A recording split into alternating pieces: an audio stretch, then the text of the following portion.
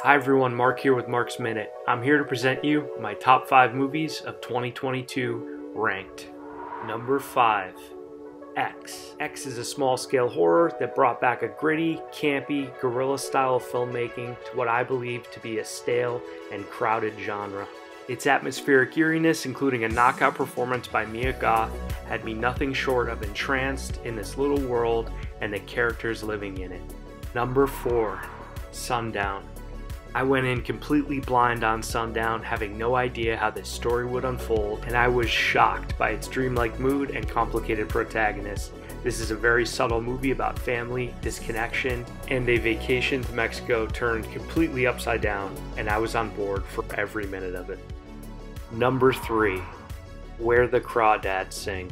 The critics are so wrong about this movie. Crawdads is a well made adaptation that holds strong performances, a really unique story setting, and an ending that couldn't have landed any better for me.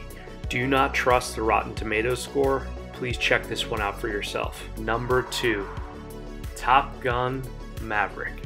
What can I say that hasn't already been said about this movie? Sometimes we just want to be entertained. Maverick completely delivered a lot of fun, wire to wire. Number one, Aftersun.